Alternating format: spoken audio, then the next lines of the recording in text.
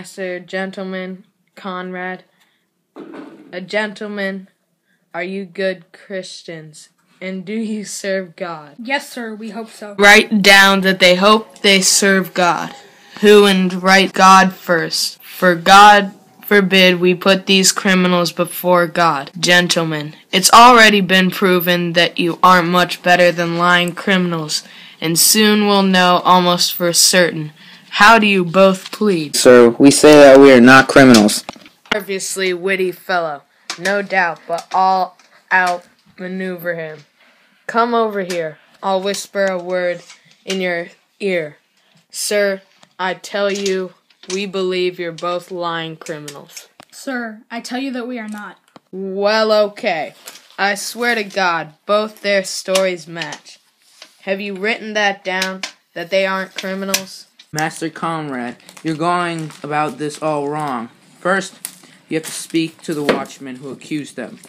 Yes, good idea. That's the eftest way. Bring the watchman forward, gentlemen. I order you in the prince's name to accuse these men. This man said, Sir, that Don John, the prince's brother, was a villain. Write down that Prince John is a villain. Why, that's flat out perjury to call a prince's brother a villain. Master Constable. Be quiet, you. I swear I don't like the look of you. What else did you hear him say? That Don John had given him a thousand pieces of gold for wrongfully accusing the lady Hero. That's burglary. That is. Yes, by God, that it is. What else did you hear him say? I heard that Count Claudio meant to disgrace Hero in front of the whole wedding party and refused to marry her. Oh, you villain. You'll be condemned to everlasting redemption for this. What else?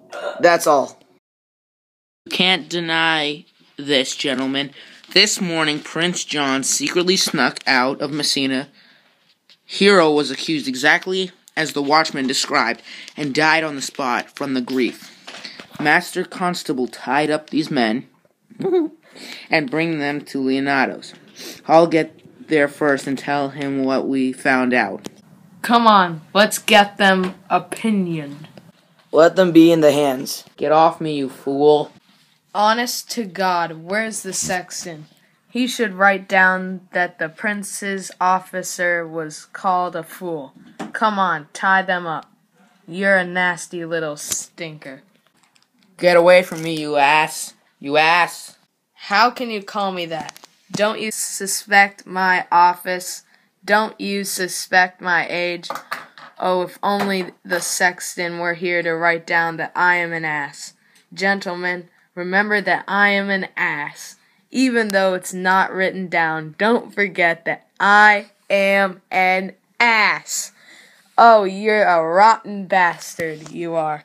I'm a wise man, and what's more, I'm an officer of the law, and what's more, I'm a householder, and what's more, I'm a handsome, a hunk of meat as any in Messina, and I know the law. Damn you, and I'm rich enough, damn you, and I used to have more, but I still have two robes and lots of lovely things. Take him away. Oh, if only the sexton had recorded that I am an ass.